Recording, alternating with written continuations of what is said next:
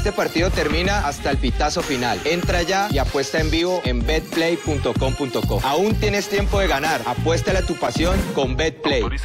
Por más que se diga que hay que apoyar lo nuestro, o que se critique que hay mucho turista en el fútbol colombiano, en la de mayor deberían cuestionarse si es realmente necesario que el cupo de jugadores extranjeros sea tan limitado. Principalmente por el poderío monetario que tienen algunos equipos como Atlético Nacional, que al completar el cupo de cuatro jugadores empiezan a mirar a los jugadores colombianos en la liga que estén en su mejor nivel, que afecta a los otros equipos tanto en liga y de una u otra manera en los torneos internacionales.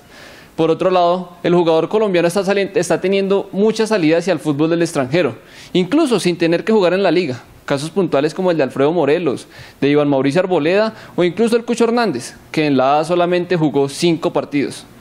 Entonces, hay que potenciar la llegada de jugadores extranjeros. Uno, para mejorar el espectáculo.